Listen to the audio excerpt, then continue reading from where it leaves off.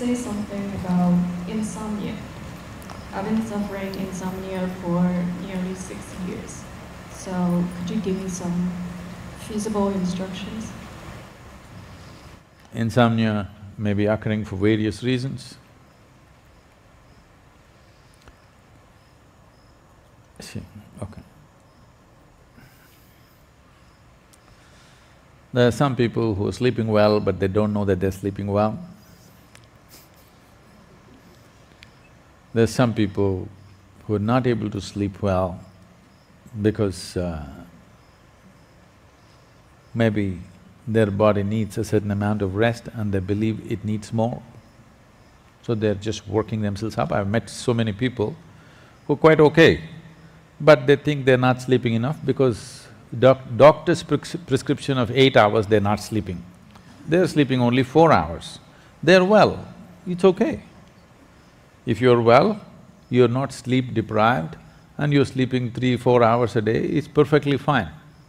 That's a good condition to be in. Or there are people who are unable to sleep because of their psychological situations. There are certain people who are not able to sleep because of their cellular or genetic situation. Only if you are like that, it's a… it's a hard thing to fix, which you are not, okay? you are not genetically in that state or in a cellular way, your body cells will not allow you to sleep for some reason. There are many reasons as to why. So, if you're not able to sleep, I think you should join our garden department. Entire day, ten hours a day you work outside.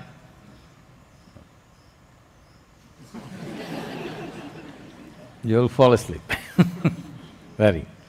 If that doesn't work, the simpler way is, uh, if you get initiated into Shoonya meditation, the Shambhavi should do it.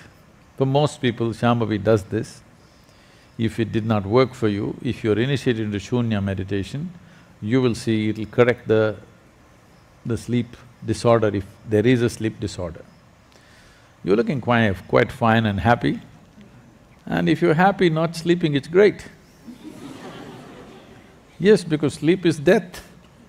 Every day people are dying for six hours or eight hours or four hours. What's your choice? Less death or more death per day? Less death is good, isn't it? Only if it's causing health problems, you're distressed, then if you're going like this at work time, that your machine is not smooth, Sleep is a kind of lubrication too for the system.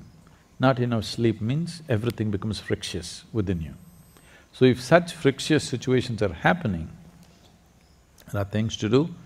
One thing is this Chandrakund here, stay there fifteen, twenty minutes every day, you will see the body will cool down. It'll be well lubricated and you will see the frictious nature of your mind and body will go.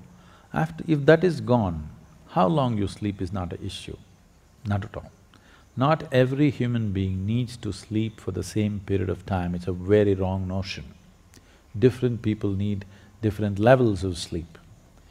And one aspect of yoga or one focus of yoga is to how to reduce sleep. Because sleep is skipping life, isn't it? People say, I enjoy sleep. Nobody can enjoy sleep. You enjoy the restfulness that sleep gives you.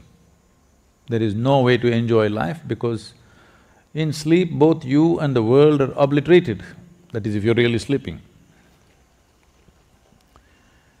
So early morning, five-thirty, you're pretending to sleep, that may be joy, that may be a pleasure, I understand that When the bell is ringing, you are just pretending to sleep, that's a pleasure. I cannot deny that But when you're really sleeping, you don't know what it is, you're not even there. So you cannot enjoy sleep. But the result of sleep is something we enjoy. What sleep does to us in terms of relaxation, in terms of restfulness, in terms of regeneration of the system, that we enjoy. So if your regeneration is really good, it may so happen the volume of sleep that you need will come down dramatically. There is one aspect, I think the other day somebody was asking me about the pineal gland. Uh, if the pineal secretions increase, these are… this is generally in India it's called amrita or the elixir of life. If amrita begins to flow, one thing that will happen is sleep will go down because sleep is death.